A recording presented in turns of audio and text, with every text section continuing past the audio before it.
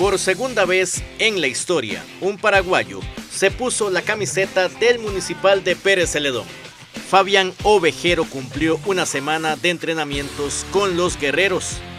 El delantero sumará en Costa Rica su quinta experiencia internacional. Este es mi quinto país que, me está tocando salir también ¿verdad? de mi país. Eh, pienso también de que la experiencia que puedo tener también la puedo trasladar al campo de juego, eh, también mismo con, los compañeros, ¿verdad? tratar de, siempre dar lo que, lo, que, lo que me toque dar, ¿verdad? Eh, lo que pueda sumar. Ovejero se convierte en una de las esperanzas del Municipal Pérez Celedón para solventar los problemas de definición que arrastró en el clausura.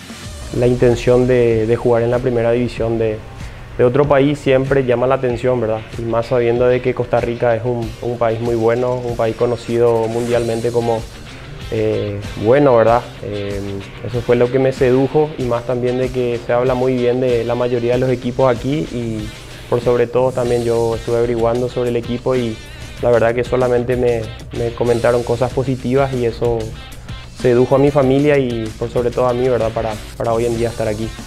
El delantero tiene claro que su compatriota Lauro Casal dejó resultados importantes en su paso por los Guerreros del Sur en 2017.